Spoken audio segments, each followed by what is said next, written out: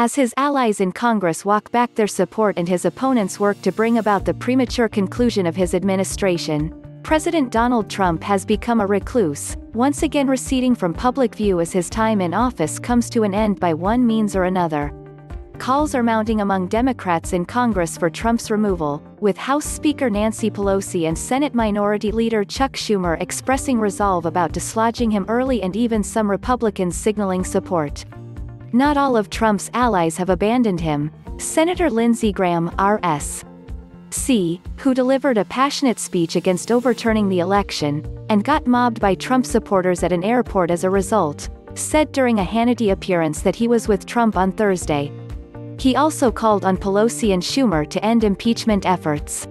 The White House only mustered a brief statement from spokesman Judd Deere in response to near unanimous Democratic support for impeachment. As President Trump said yesterday, this is a time for healing and unity as one nation, Deere told Forbes. A politically motivated impeachment against a president with 12 days remaining in his term will only serve to further divide our great country. Biden, every bit the opposite of Trump, has had an uncharacteristically busy public schedule in recent days. He spoke Wednesday evening to denounce the Capitol attack, appeared again Thursday to introduce Department of Justice nominees and made one more appearance Friday to introduce his nominees for the Departments of Labor and Commerce.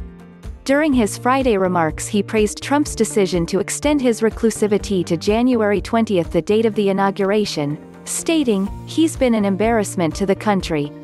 He's not worthy to hold that office.